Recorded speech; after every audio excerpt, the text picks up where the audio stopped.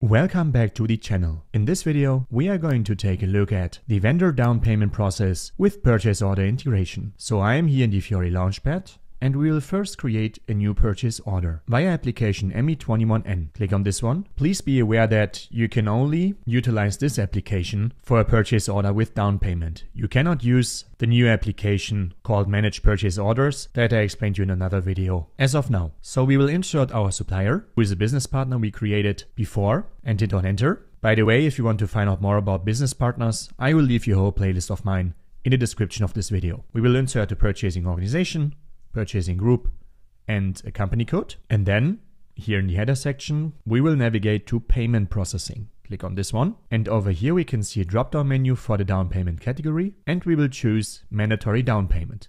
Hit on enter. Now you can see a couple of more fields appeared. First of all, here we can define the down payment amount in percent. So this is the percentage amount paid before our vendor will actually hand over the goods to us. So I will just say 10% for now. Instead of defining a percentage, we could also define an amount over here like 10,000 euro. Then we have the due date. So when the down payment is due, let's say immediately, that's basically it. Now we go to the line item details. We insert our material as well as a quantity, a price per piece. Let's hit enter and let's go to the right. Let's insert a plant. Hit on enter again. By the way, most of the information could also stem from a purchasing info record, for instance. I explained you this in a couple of other videos. I will leave you the links in the description of this one.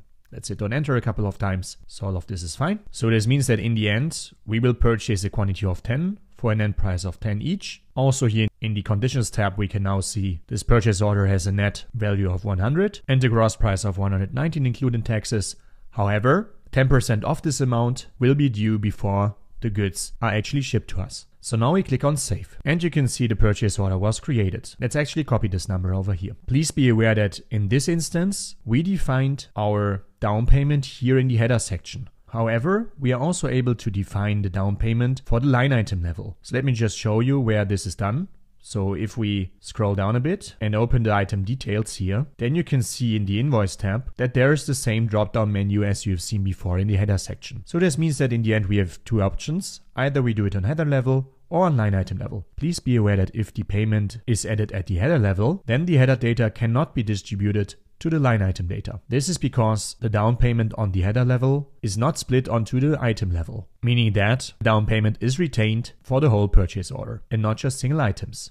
Okay, next off we will navigate to the application called Monitor Purchase Order Down Payments. Here we can monitor all of our purchase order down payments. We will select the right currency and also the company code. And here in the search bar we will insert now our purchase order number that we copied before. Click on go and here you can now see our purchase order with down payment that we created before. You can also see the line items over here. So now we will select our line and then we will click on create down payment request. We will now create such a request because this is necessary for our payment run. And by that, we state that the vendor requires us to pay a certain amount upfront. We will insert a journal entry date. You can see here the right suppliers already selected.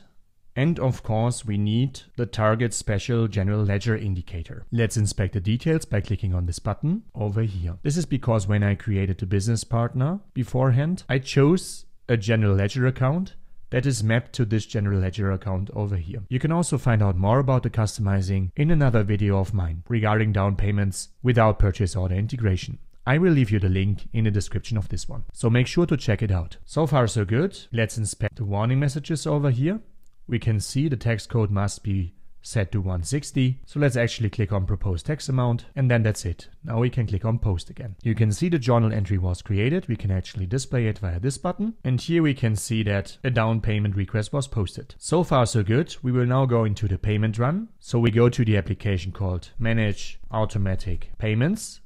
Select this one, click on create parameter, give it an identification, create. I have a whole playlist about payment runs, so I will just leave you the playlist in the description of this video. We will include the company code, the payment methods, which are also stored in our supplier master, and that's basically it. Select additional log and save. Now we will click on schedule, proposal, start immediately in schedule. We can see that we can post a document. Let's actually inspect the details. So here, if we scroll down and a bit to the right, you can see that we would pay the expected 10 euro in advance. So this is fine. Let's actually go back and back again. Select the line, click on schedule payment, start immediately and schedule. Now we can inspect the payment and here we can see 10 euro were transferred. By now, we created our purchase order with down payment integration. We posted the down payment request and we also paid the down payment. Now let's imagine that the supplier delivered the goods.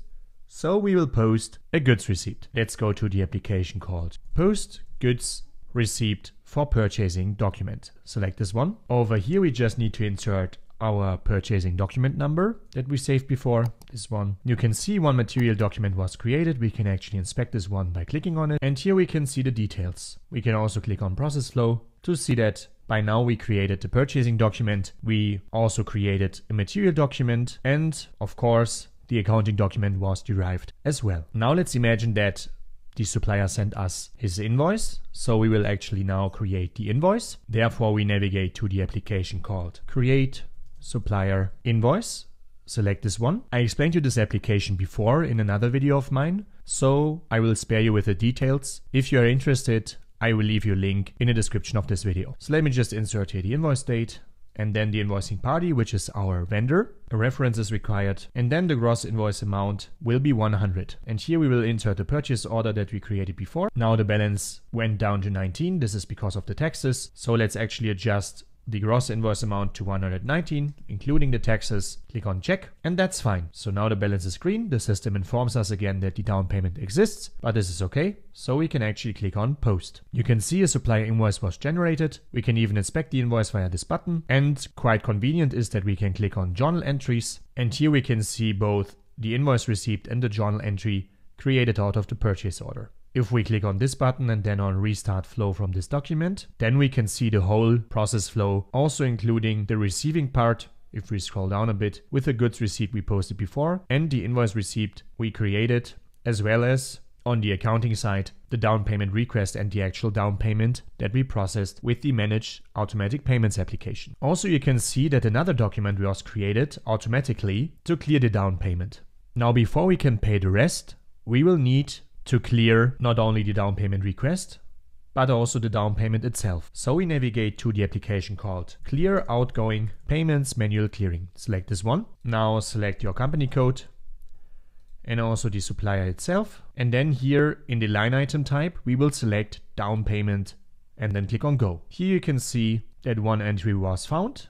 Let's inspect this one. And we can see that we can clear the 10 euro. So let's click on clear. For the allocated amount, we will say 10.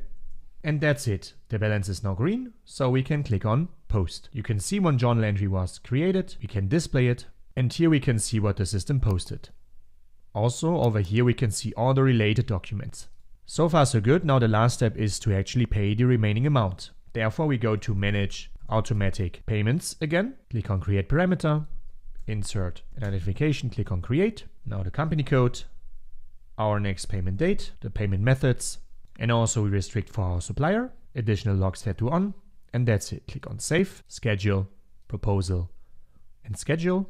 Now we inspect the proposal, click on the details, and over here we can see that in the end, we only need to pay 109 as we paid 10 in advance already. If we execute the payment run now, let's go back and back again, select the item, schedule payment and schedule.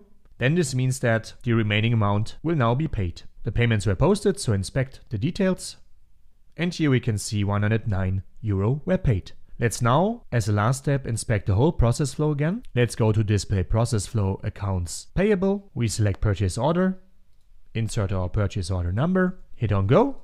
And here we can inspect all the documents that were posted. Starting with our purchase order, then scrolling down a bit where we can find our goods received and invoice received. And also here in the accounting section, the down payment request as well as the real down payment we posted, and then the automatic clearing of the down payment request, as well as the manual clearing we have done via the application to clear outgoing payments. Okay, this marks the end of the video. It took a lot of effort, so I would really appreciate if you subscribe to the channel and activate the bell. Also make sure to subscribe to my Patreon, where I post lots of configuration documents. You can find a link in my bio. Thanks a lot and see you next time.